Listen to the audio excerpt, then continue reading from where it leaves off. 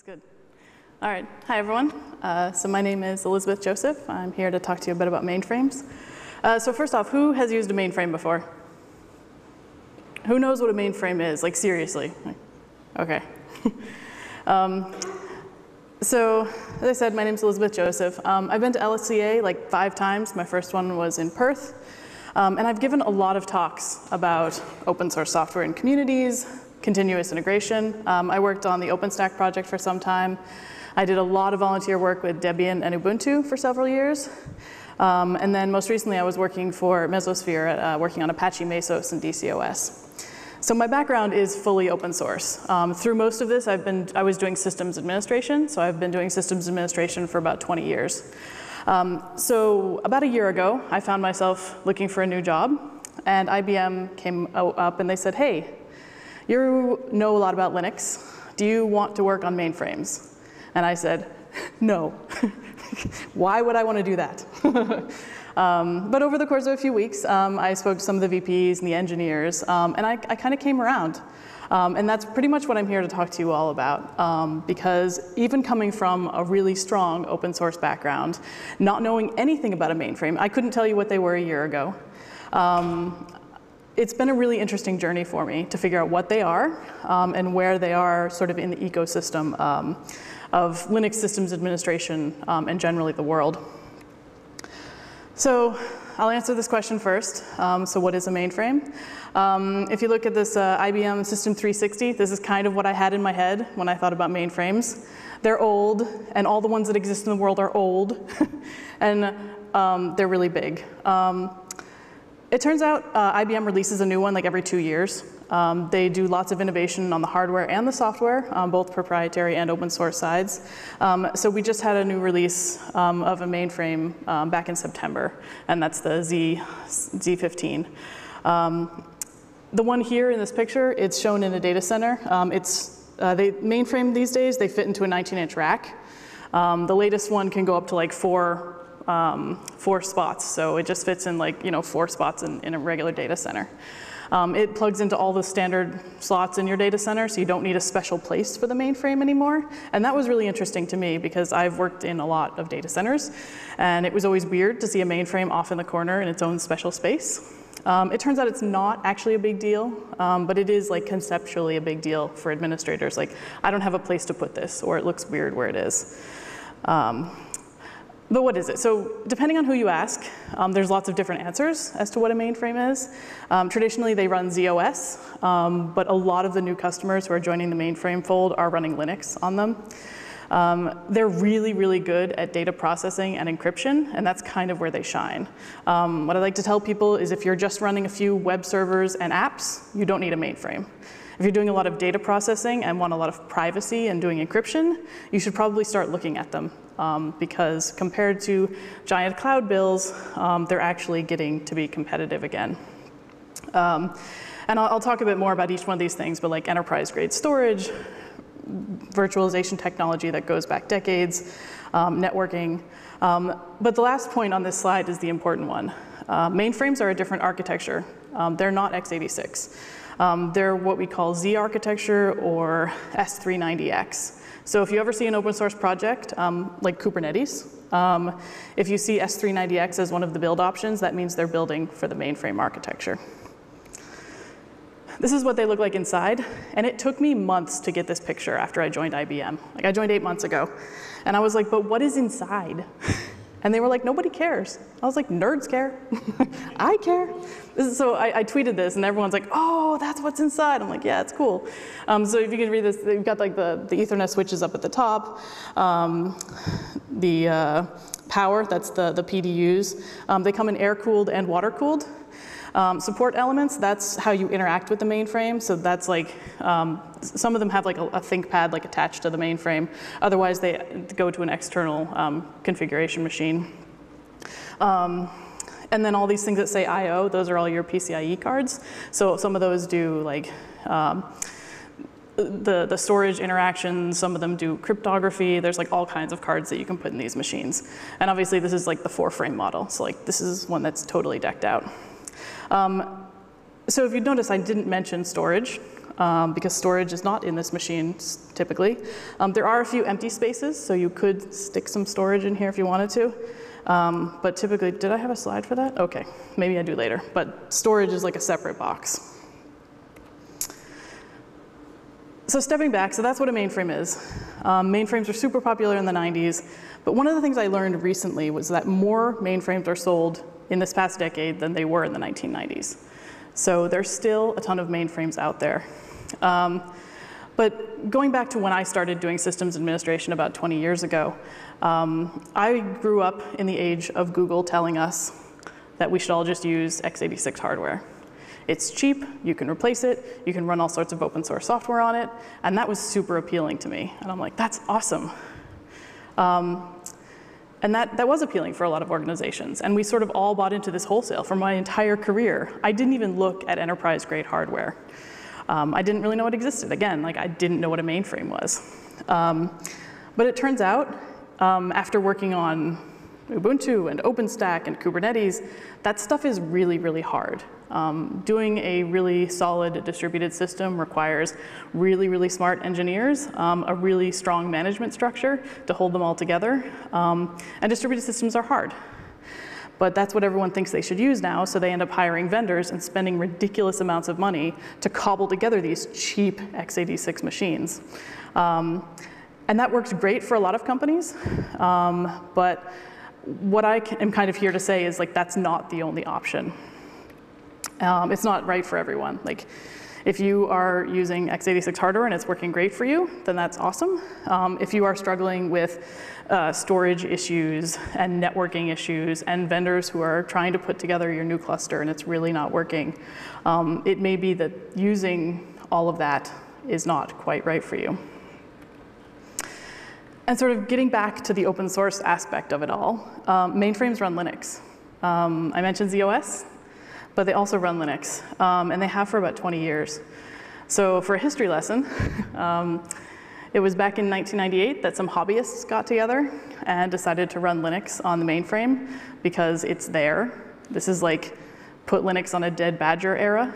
so it was there, it's cool. Um, and so like if you look at some, some of the early pioneers of, of running Linux on the mainframe, their reasons for doing it are like, it's fun, it's cool, it's there. And then like down towards the bottom of the list, they're like, it's actually a really powerful machine, and it'd be cool to run Linux on it, right? But like the first reasons are like, that's really why you did it. You didn't do it to make money, you did it because you thought it would be fun. So this is 1998. This group came out with like the Bigfoot project, which was Linux on the mainframe. And IBM said, oh, we've actually been working on that. You totally scooped us. so IBM came out about a year later in on, it was actually uh, December of 1999 with the first patches to the Linux 2.2 kernel for S390X. So IBM came along and said, actually, we're working on this, and you can now run it on the kernel. At the time, it wasn't mainlined, so it was just patches that you add to the kernel on your own. Um, but these, these days, all of the S390 stuff is built into the Linux kernel, so it's not anything special from IBM or anything. It's all built in. Um, and so over these 20 years, um, more and more software has been ported um, to the architecture. And in 2015, IBM came out with a Linux-only mainframe. So this one cannot physically run ZOS or any of the older operating systems. Um, it comes with something called IFL, which is a processor. It's the integrated facility for Linux. Um, so that only runs Linux. Um, so you can't even try to install anything else on it. So that was 2015. So we had the first LinuxONE and then another iteration, and they were super cute because they were named after penguins. um, and I, I, talked to one of my colleagues recently, and the, the, the names of, the, of the, the mainframes were the Rockhopper and the Emperor. And one of my colleagues said, I always get them mixed up. And I said, well, it's easy because the Rockhopper is the little one and the Emperor is the big one. And he said, Liz, not everyone knows about penguins. so, Rockhopper and Emperor. Emperor is obviously the big one. Um, anyway, with the, the, release in 2019, we got rid of those cute names, much to my sadness, um, and we only have one now. So this is the one. Again, you can get it in like one, one frame or expand out to the four, like is in this picture. So this was a huge investment. Um, from IBM into the Linux ecosystem um, because now they're not even offering their old proprietary operating system on this specific machine. Um, it's all Linux. Um, and these are really cool to bring to conferences because they say LinuxONE on them and everyone wants selfies with them. so one of the first questions I had um, when I joined IBM was, what does it mean that you run Linux on it?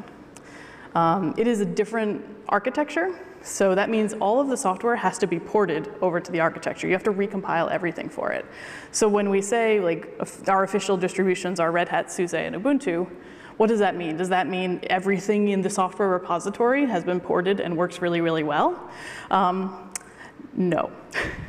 Um, it means a huge chunk of the repository has been ported, um, and IBM works really closely with these vendors um, to make more and more software ported. So the first thing I did when I got my first VM on a mainframe um, was I tried to install Screen and IRC because I wanted to get on IRC and show everyone the proc CPU info, right?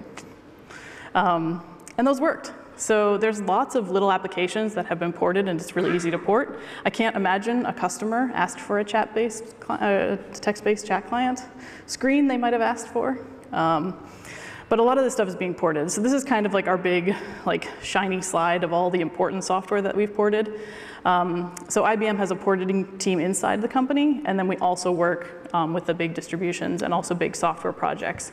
Um, so part of what I do now is I work with individual open source projects to get them access to mainframe virtual machines. Um, we have one that anyone can have access to for 120 days, and then we offer VMs that stand up forever to put into their CI systems. Um, so a few of these, of these organizations are, are open source projects are using our infrastructure. And then we keep adding more um, as more like, hey, we want to build for ARM and we want to build for Power and we want to build for the mainframe.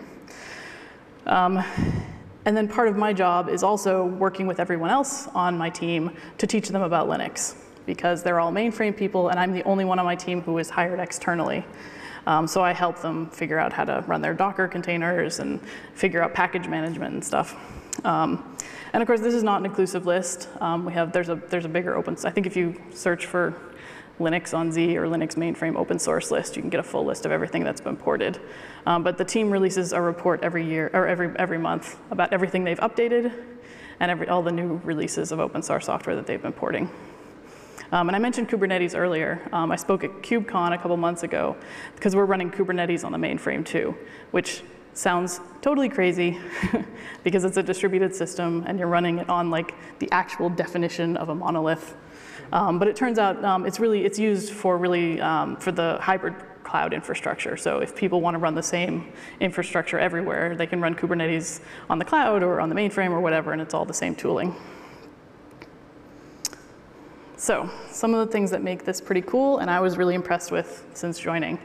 So first is the enterprise grade storage. Um, this is just an example of some of these rack mount storage systems.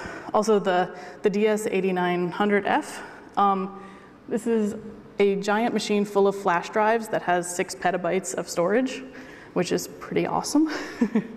um, and it's crazy fast because it's all flash drives. It's also really expensive, but I don't know how expensive. um, but that's like this, the coolest, like a most amazing, amazing one. Yeah, that's a lot of storage. Um, but then some of these, some of these can actually fit into the mainframe. Some of them are just rack mount on the side. And one of the things that I found about enterprise storage that was interesting to me is I, I worked in OpenStack. And so I've been around the Ceph community and I've been around the Swift community and I've been in a lot of their sessions where they're trying to figure out problems they're having with distributed storage. And they have interesting problems about um, making sure there's data consistency and latency and all kinds of storage problems um, that they're trying to solve. So when I started learning about the mainframe, I kept bumping into these white papers written in the 80s by IBM and related companies. And sometimes the problems were the same exact problems that these distributed systems were running into. So I was like, okay, so the technology that goes into these, which is often Linux, like the, the DS8900 runs Linux secretly. um, like all, all the technologies that they built to make these storage arrays work really, really well. A lot of the problems were solved in the 80s that the open source projects are now solving again. So I kind of want to go back in time and tell them all to read these white papers because they're all public and they're really, really good. Um, but the enterprise grade storage is a big deal because I've run production Ceph clusters and sometimes I had bad days. Um, I never actually lost data, but it got close sometimes where, I mean, I wasn't working at companies that were like, we weren't storage companies, we just had stuff in storage. Um, and I think a lot of us sort of forget um, that these kind of black boxes just exist. Like if you don't want to deal with it and you're okay moving away from the open source solution, um, which I probably wouldn't have been a few years ago. um, but I'm, I've grown older and more practical these days. So I'm like, you know, if I really just want a storage solution, like these are there um, and these work with the mainframe. Um, another thing that I've, I've, been really geeking out about um, with the mainframe stuff is all of the hardware-based encryption. Um, so x86 totally has hardware crypto stuff inside of it now.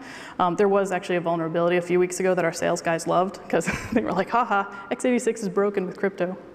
Guys. um, but, but seriously, um, so there's the hardware encryption. So if you look at this, this picture here, so like that, that's a mainframe, that's the two frame model.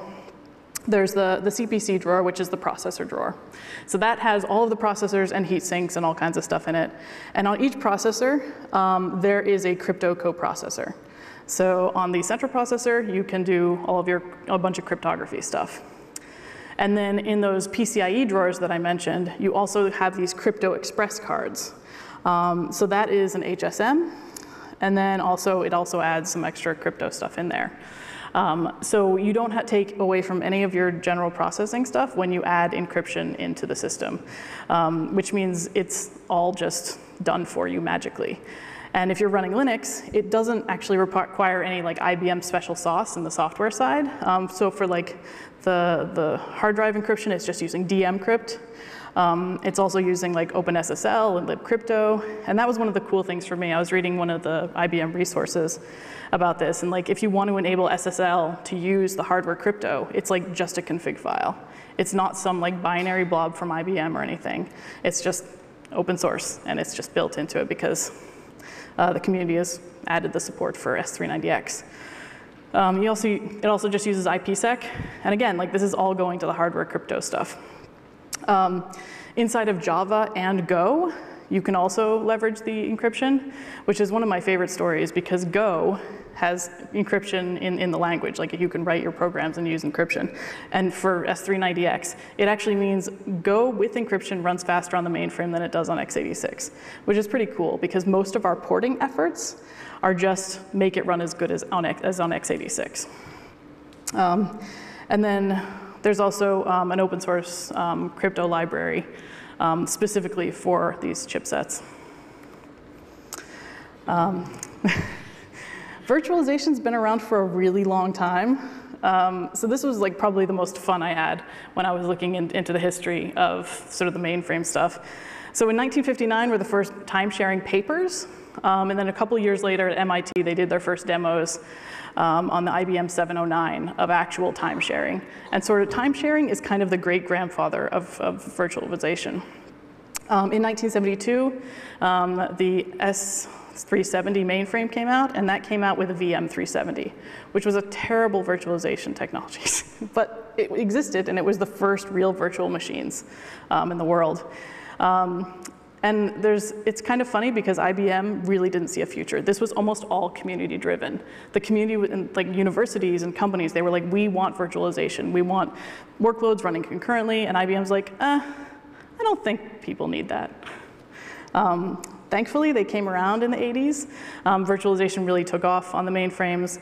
And then in, it was, I think probably a decade ago, um, actually 20 years ago, ZVM came out, which is kind of like the best in class for the mainframe virtualization. Um, and today, KVM is supported as like a first class citizen on the mainframe. And so you can use all of your KVM tooling now. So it's really easy to use OpenStack, for instance, to launch VMs on the mainframe um, because it just hooks into libvirt and does its thing. So it can be integrated into the rest of your um, organization, uh, like your infrastructure.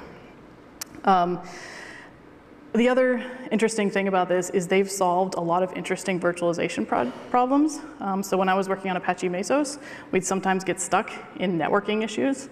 Um, but since the VMs on the mainframe are like all together and they're communicating over buses and things, like networking is a lot less of a concern.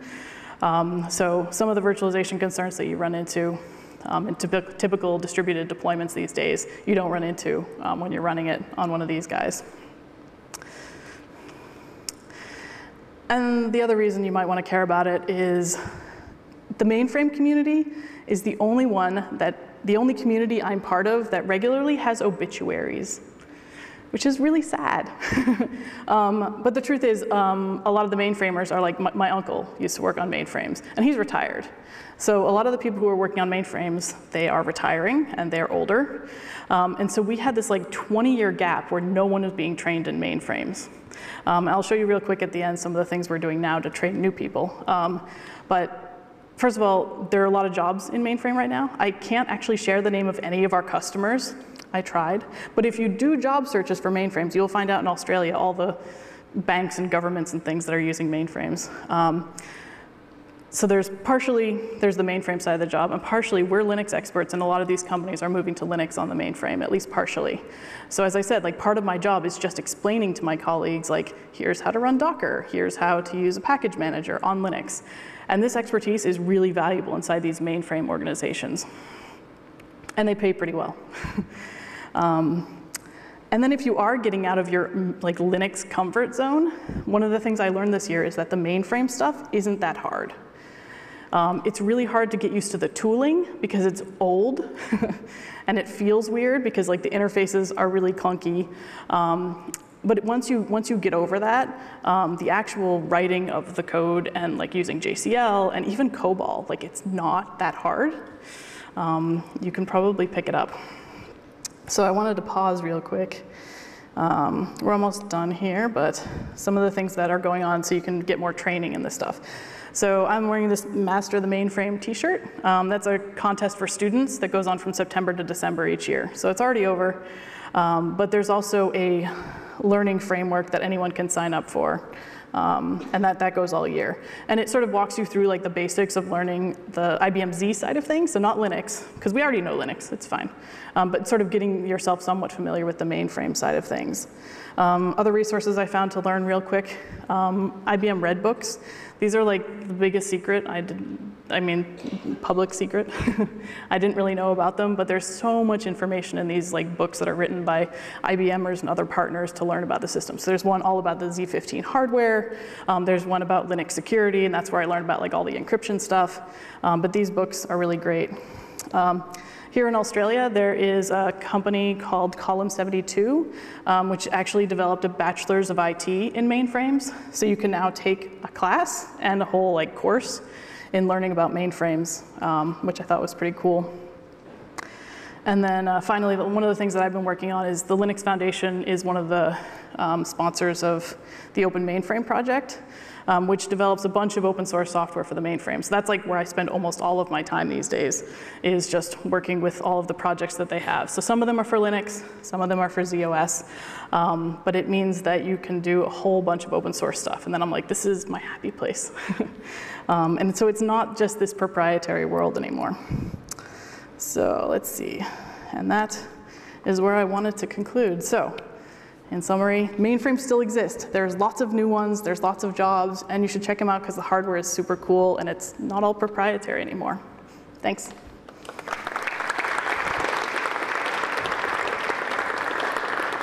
Okay, thank you very much, Elizabeth. Um, next up, we have uh, two short talks.